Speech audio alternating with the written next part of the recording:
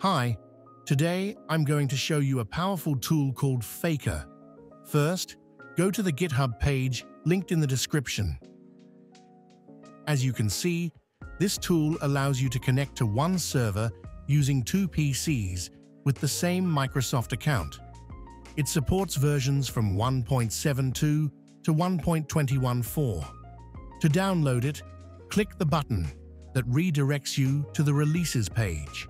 Here, you can choose to download either the .exe or .jar file. Before running Faker, set up a hotspot and connect the second PC to it.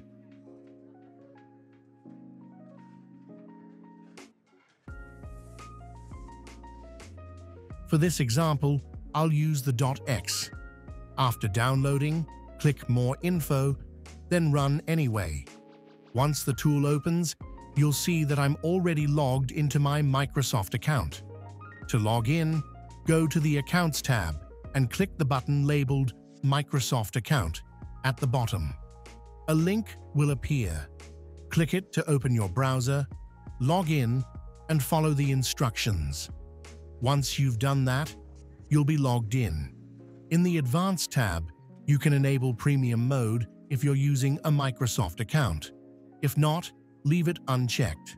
There's also an option for chat signing, which is necessary for versions 1.19 and higher, where chat systems have changed. In the UI settings, you can change the language to your preference. The DHCP section is for advanced users who understand how DHCP works. Now go to the General tab.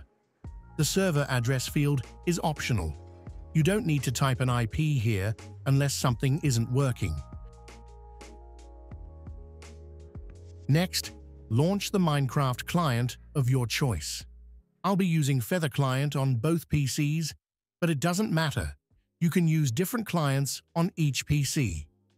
As you can see, my second PC is connected to my hotspot, and both clients are logged in with the same Microsoft account. Now, start Faker and connect to the same server from both PCs simultaneously.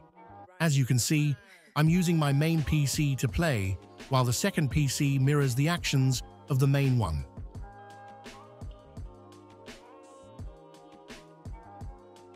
If someone tries to screen share with me, to check my PC, I can simply switch PCs by clicking a button. I'll mark the second PC as the main one.